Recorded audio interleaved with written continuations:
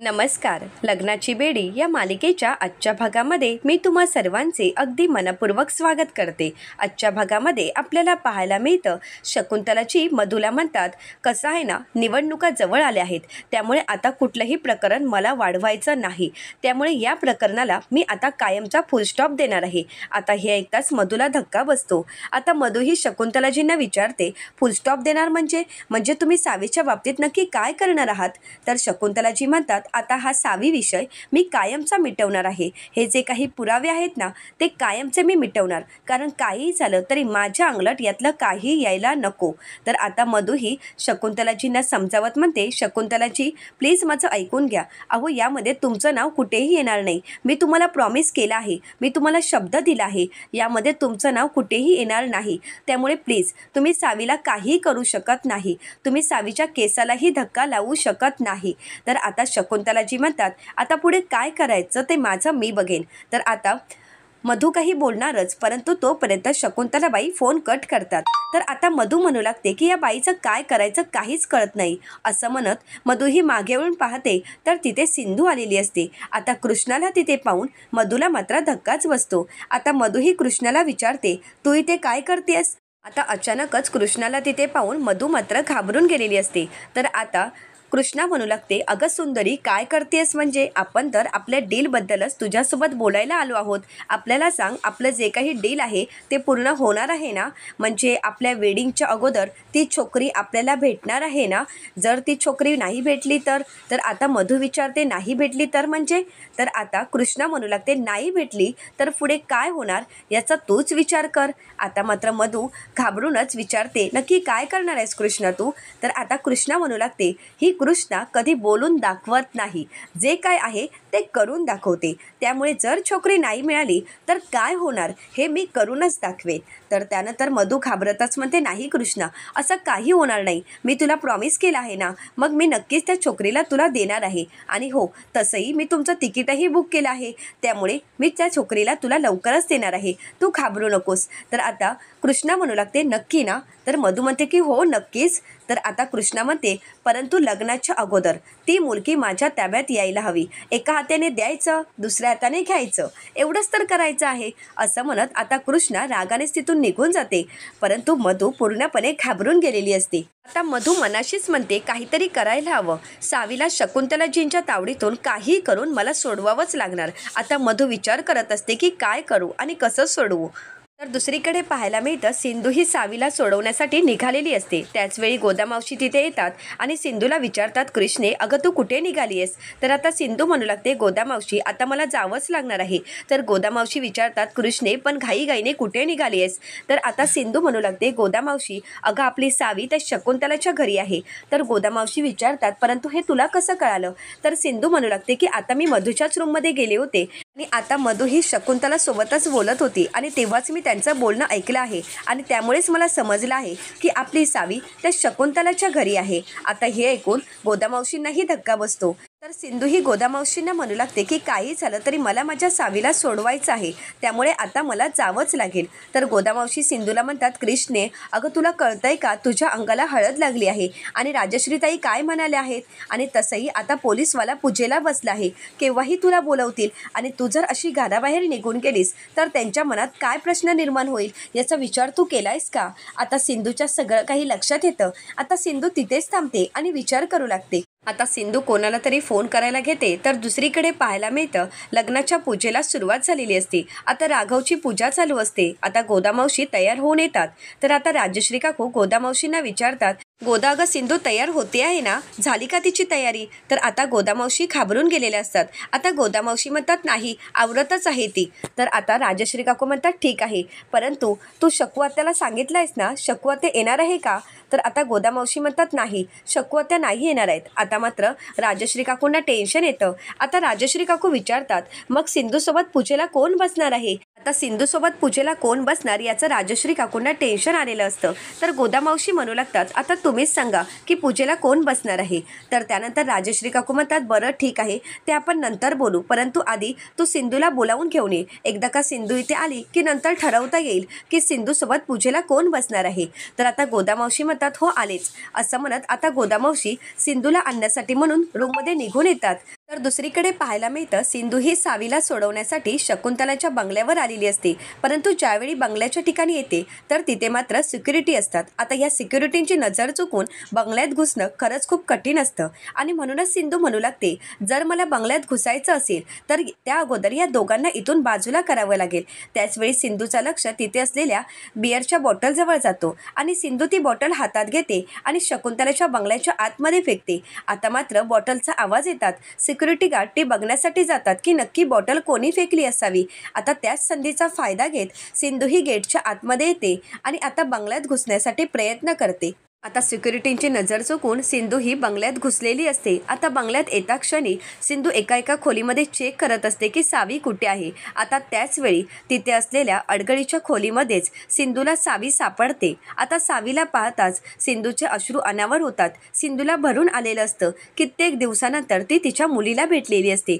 तर दुसरीकडे पाहायला मिळतं रत्न पारखींच्या घरी राघवची पूजा चालू असते. तर आता मधू मनाशीच म्हणते की राघव आता थोड्याच वेळानंतर आपलं लग्न होणार आहे. खऱ्या अर्थाने मी तुझ्या आयुष्यात येणार आहे. असं म्हणत मधू मनाशीच खूप खुश असते. तर आता गुरुजी म्हणतात आता ही पूजा संपन्न झाली आहे. आता नवरा मुलगा थोरा मोठ्यांचे आई वडिलांचे आशीर्वाद घेऊ शकतो. तर आता राघव सर्वांचे आशीर्वाद घेतो. तर त्यानंतर गुरुजी विचारतात की आता नवरी मुलगी कुठे आहे? तर आता राजश्री काकू सिंधूला सिंधूला आवाज देणार तोपर्यंतच गोदामावशी सिंधूला घेऊन आलेले असतात. आता राजश्री काकू सिंधूला पाहून खूप खुश होतात. आता ग्रहमुखासाठी आलेली सिंधू नसून ही पिंकी असते. आता पिंकीला सिंधूसोबतचा प्लॅन आठवतं. कारण सिंधूनेच पिंकीला फोन केलेला असतो आणि म्हणालेली असते की आपली शकुंतलाच्या ताब्यात आहे आणि म्हणूनच पिंकी आता मला तुझी मदत हवी आहे. तर पिंकी ही सिंधूला म्हणालेली असते बोल बेष्टी तुला कोणती मदत हवी आहे? ही तुझी पिंकी तुझी बेष्टी तुला कोणतीही मदत करायला तयार आहे. तर सिंधू ही पिंकीला म्हणालेली असते की आता पूजा चालू आहे आणि कधीही आई मला पूजेला बोलवतील. जर मी पूजेला बसली तर मग मात्र मला शकुंतलाच्या घरी जाऊन सावीला सोडवता येणार नाही आणि म्हणूनच मला तुझी मदत हवी आहे. तर पिंकीने सिंधूला सांगितलेलं असतं अगं सिंधू तू घाबरू नकोस. तुझी ही बेस्टी तुला कधीही आणि केव्हाही कुठलीही मदत करायला तयार आहे. आणि आता सावीला सोडवायला ही पिंकी काही करायला तयार आहे. असं म्हणत आता पिंकी ही सिंधूच्या मदतीला धावून आलेली असते. आता रत्नपारकींच्या घरी सिंधूच्या जागी पूजेसाठी पिंकी आलेली असते. आता पिंकी ही पूजेला बसणार परंतु त्याचवेळी रुक्मिणी काकू थांबवतात. तर राजश्री काकू विचारतात काय झालं वहिनी? का थांबायला सांगितलं?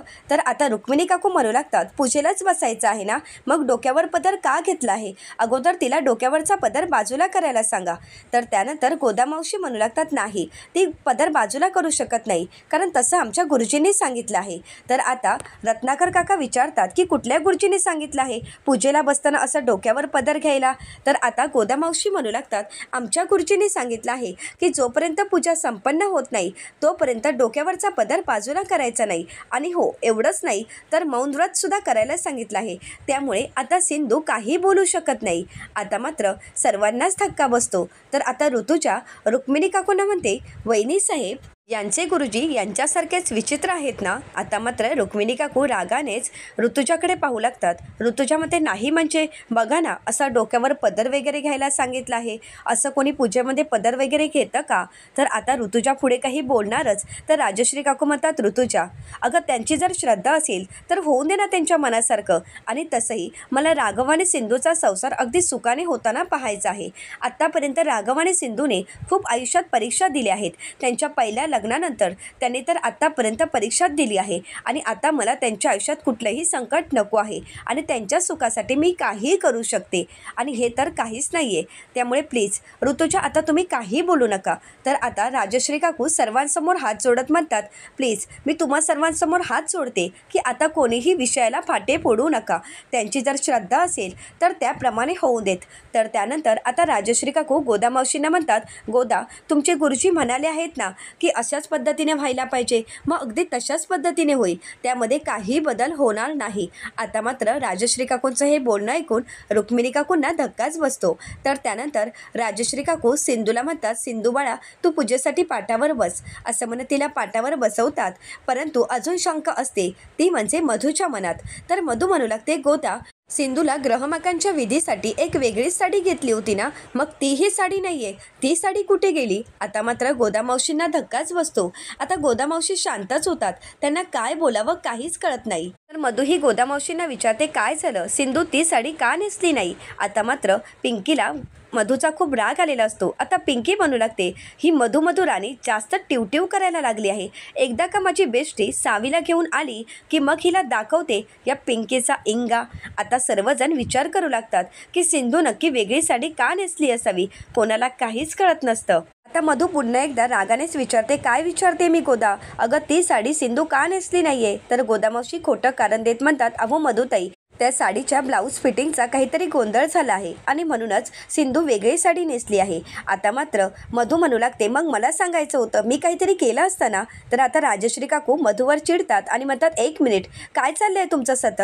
प्रश्नावर प्रश्न आणि तिला किती भांडावून सोडताय? साडी कोणतीही असू देत. सिंधू तयार होऊन आली आहे ना? मग तुमचा प्रश्नाचा भडीमार का चालू आहे? आता कोणीही काही प्रश्न विचारायचे नाहीत.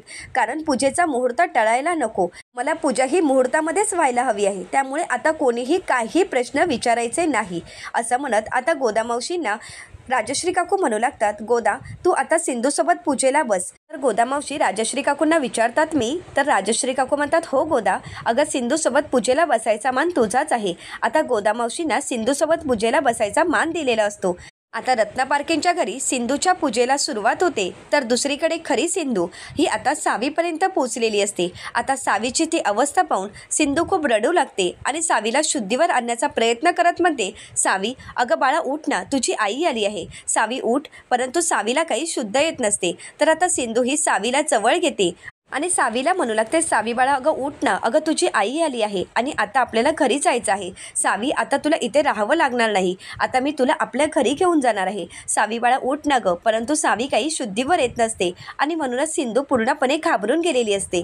आपली मुलगी शुद्धीवर येत नाही हे पाहून सिंधूचे अश्रू अनावर झालेले असतात. आता त्याच वेळी तिथे आयुष येतो. आता आयुषने सिंधूला पाहिलेलं असतं. आता आयुष सिंधूला पाहताच त्याला धक्का बसतो आणि तो विचारतो सिंधू मामी तू इथे?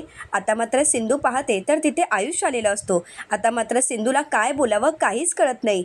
तर आयुष विचारू लागतो सिंधू मामी तू आणि सावी इथे काय करत आहात? तर त्यानंतर सिंधू आपली ओळख लपवत म्हणते कोण सिंधू? मी सिंधू वगैरे नाही. मी कृष्ण आहे. आणि ही कोण आहे? मला काहीच माहीत नाही. तर आता आयुष विचारतो हो का? मग मला सांगा तिला मिठी मारून तुम्ही का रडत होता? तर त्यानंतर सिंधू म्हणू लागते मी कृष्ण आहे. आणि कसं आहे? एखाद्या असं लहान मुलाला कोंडून ठेवलेलं पाहिलं तर आपल्याला वाईट तर वाटणारच ना? मग कोणालासुद्धा रडू येऊ शकतं? कोणीही सॅड होऊ शकतं? आणि तसंच मला झालं. नाही तर तसाही या मुलीचा आणि माझा काही संबंध नाही. तर आता आयुष म्हणू लागतो सिंधू मामी प्लीज माझ्याशी खोटं बोलू नका.